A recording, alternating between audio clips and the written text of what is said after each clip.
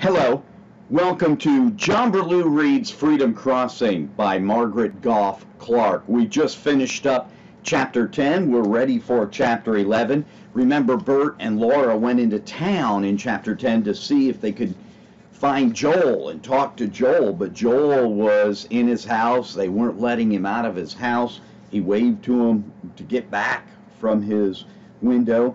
But Bert and Laura think now they may have figured out Joel's code that he sent them with the book that he sent to Laura. Remember the big haunted house on the river with the many cellars to it, the four cellars?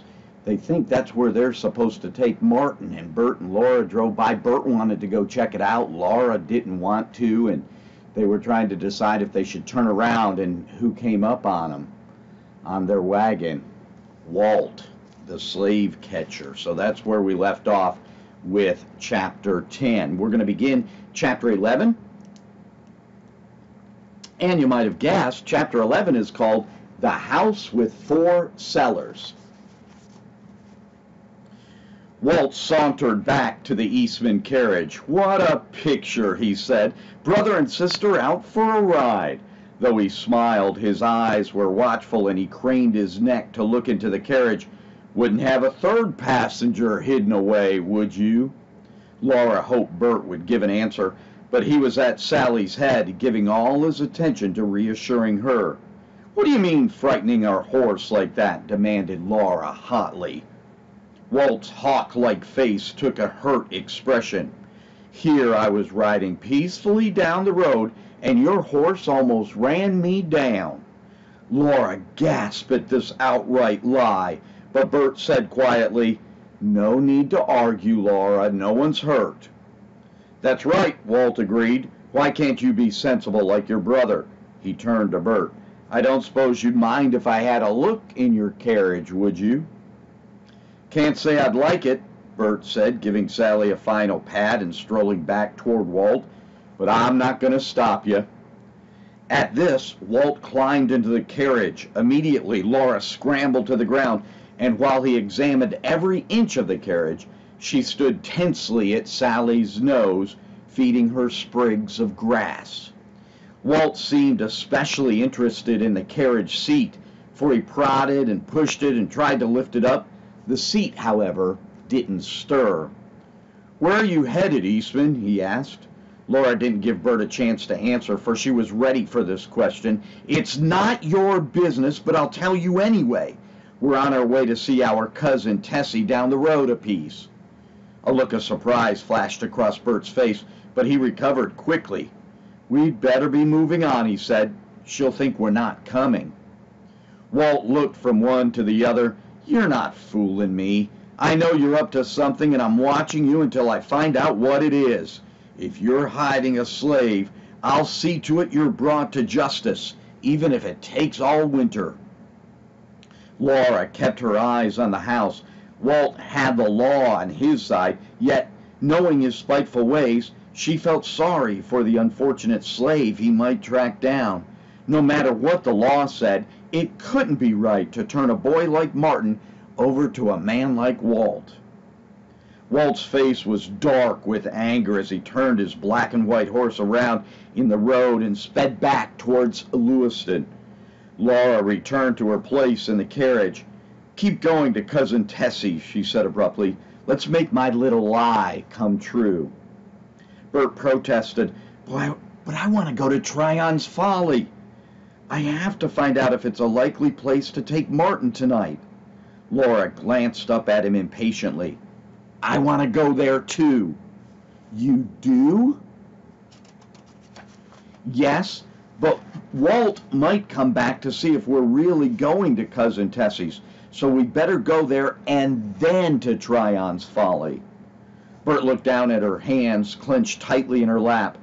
Walt got your dander up, didn't he? Laura nodded. He makes me want to fight. Good. Bert lifted the reins. Giddy up, Sally. Laura tried to recall what it had been like in the cellar at the Tryon house We'll need a lantern. I remember it was dark in that cellar, even in the daytime, she said.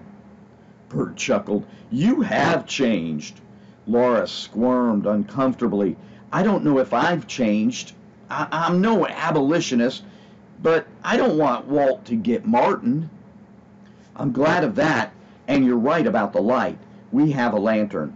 Pa always carries one in the back of the carriage, but I don't have any way to light it. We'll ask Cousin Tessie if we can borrow a few less lucifers. We won't have to explain why we want them, or do we dare tell her about Martin? Bert shook his head. No, I imagine she thinks the way Pa and I do, but I'm not sure. It's best not to get her mixed up in this. Laura patted the cushion on which they sat. Why was Walt so interested in this? A faint smile lifted the corners of Bert's wide mouth. Some people have hidden compartments under their carriage seats. Do we have one? Not in this carriage, but there's one in the wagon Pa and Abby took to Buffalo. I wish we had the wagon now. It'd make it easier to get Martin through town tonight. He drove in silence a minute and then said, Maybe it's a good thing Walt stopped us. He won't be so suspicious if he sees me driving out this way again tonight. He'll figure I'm just going to Cousin Tessie's again. Where will you hide Martin? On the floor, I guess. I'll put the lap robe over my knees and he can lie under it. They made their visit with Cousin Tessie brief. In an answer to her pleas that they stay for supper, they gave the excuse of chores that had to be done at home. As they once again reached the woods around Tryon's Folly, Bert gazed cautiously up and down the river road. Then he turned Sally onto the rough drive that led to Tryon's Folly. Laura did not breathe easily until trees hid them from the road. She could not bear to think of what would happen if Walt should see them riding up this abandoned lane. When they were several yards into the woods, Bert jumped down and broke off a leafy branch which he used to brush out the marks left behind them by the carriage wheels and the horses' hoofs. Don't want anyone to notice that a rig turned in here, he explained. The lane grew fainter as they progressed. Bushes crowded close on either side, and the road itself was pitted with holes. Laura clung to the carriage lest she be bounced over the side.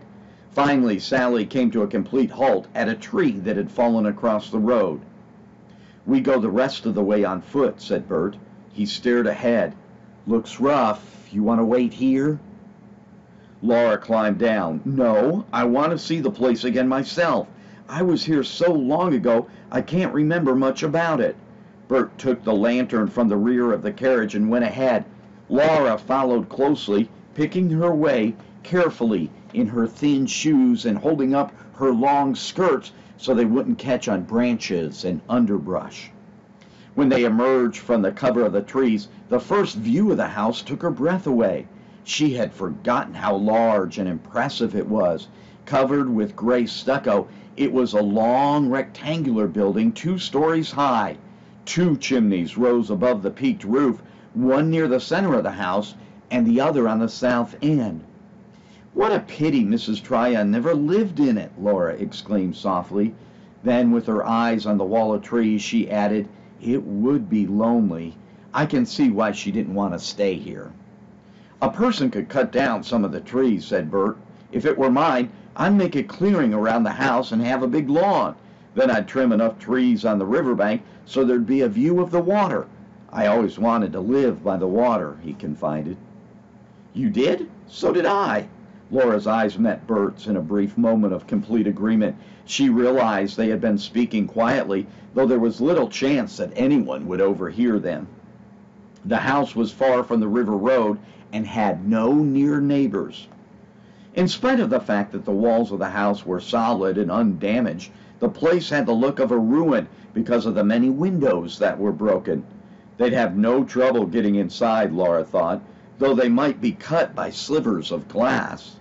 Bert, however, took the direct approach. He walked boldly up the stairs to the front door and turned the knob. With a slight creaking, the door opened, and he and Laura stepped inside. They found themselves in a large room. At their entrance, a bird flew out of a window, startling them both. Feathers and bird droppings littered, littered the floor of the room, and cobwebs laced the corners. Several dark objects the size of mice clung to the upper walls and ceiling. After staring at them for several moments, Laura realized with a shudder they were bats. She hoped they would stay where they were. Sounds like a haunted house, doesn't it? I don't feel right walking in like this, her voice echoed in the unfurnished room. Joel practically sent us here, said Bert. Yes, I'm sure he meant for us to come, Laura agreed. And it isn't as if we were going to hurt the house. She tried to feel reassured about their trespassing. After all, no one had ever lived here. But Bert interrupted her thoughts. Where's the cellar? Do you remember?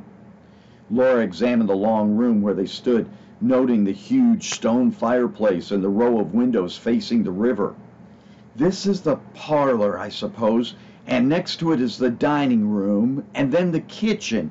She picked her way across a slippery patch of broken glass to the sunny kitchen, where the fireplace stood ready for use, with pot hooks in place, yet no one had ever cooked a meal in it.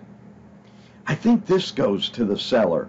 Laura opened a door on her left. Stairs descended into the darkness. Bert set the lantern on the kitchen floor and knelt to light it.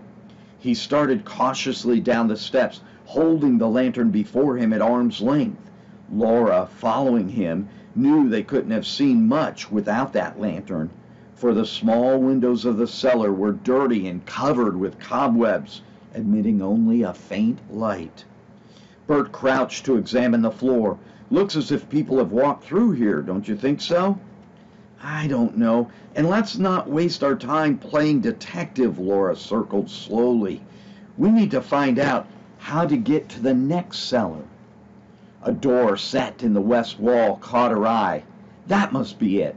At least it's on the side toward the river. She crossed to the door and pulled it open. Bert came forward with the lantern, illuminating a tunnel that sloped downward. From then on, the way was clear for one cellar led to another like steps descending the riverbank. Laura followed Bert and the dim glow of the lantern through the tunnel down a short flight of stairs to a second cellar, through a trap door, and down more stairs to the third cellar, where a spring filled a shallow basin and overflowed into a drain on the stone floor. In this last cellar, they found a heavy plank door this surely must lead to the river bank. Bert pushed the door open, and he and Laura saw before them a wall of bushes. At their feet, a path wound steeply down toward the river, still far below. Again, they shared a look of agreement. Laura said, This has to be the place where Joel intended to take Martin tonight. So now they really think they figured out Joel's code and that they're to take Martin to the big haunted house with four cellars tonight so he can meet that fisherman and his boat to get across the river to Canada. That's the end of chapter 11. We'll cover chapter 12 next. I don't feel too good about chapter 12. You know what the title of chapter 12 is? A Fugitive is captured. That doesn't sound too good, does it? We'll read chapter 12 next. Thank you for reading with me. Jon Burlew reads Freedom Crossing by Margaret Goff Clark.